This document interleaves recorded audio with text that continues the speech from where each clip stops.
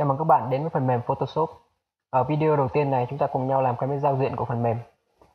Nếu bạn học nhiều phần mềm đồ họa, các bạn sẽ thấy rằng nó có những điểm chung.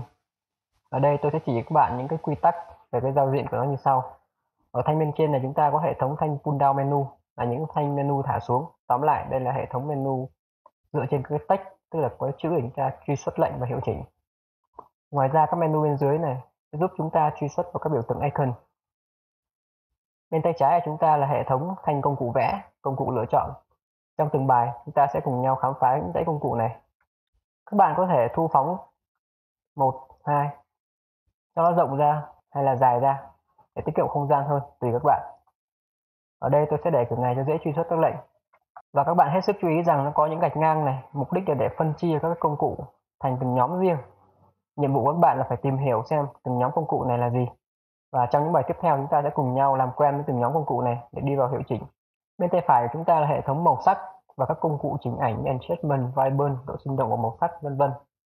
Thì Photoshop có rất nhiều ứng dụng, ngoài lĩnh vực chỉnh sửa ảnh thì có thể ứng dụng kiến trúc mỹ thuật, ứng dụng vẽ trực tiếp trên Photoshop, làm quảng cáo vân vân và vân vân. Tùy từng công việc mà chúng ta sẽ ứng dụng Photoshop làm gì. Điều này sẽ tạo lên thú vị khi mà chúng ta làm việc với Photoshop. Để chuyển đổi nhanh các không gian làm việc các bạn làm như sau các bạn có thể chuyển đổi một vài không gian làm việc. Thứ nhất là dạng 3D thì Photoshop sẽ bố trí các cái kiểu không gian làm việc, gọi là workspace, để chuyên dụng nhất cho từng cái thành phần công việc riêng. Hay là tôi chọn dạng painting chuyên để vẽ. Thì những công cụ như brush sẽ hiện ở đây, là bút vẽ trong Photoshop.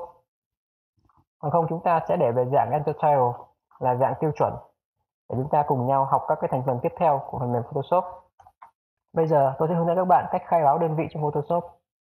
Chúng ta cùng phải đồng nhất đơn vị để đôi khi làm việc nó dễ dàng hơn. Để khai báo đơn vị, các bạn làm như sau. Các bạn vào thanh Edit.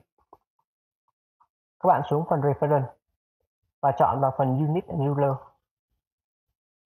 Ở đây các bạn chuyển hết các đơn vị về mm lần lượt. Còn độ phân giải ở đây chúng ta để 300 và để pixel trên inch thì hay hơn còn nếu bạn để pixel trên mm hay cm thì rất nặng.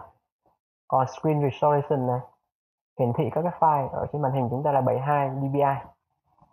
Tôi chỉ đổi đơn vị về mm và đóng lại. Ok, coi như chúng ta đã chấm dứt phần thiết lập đơn vị.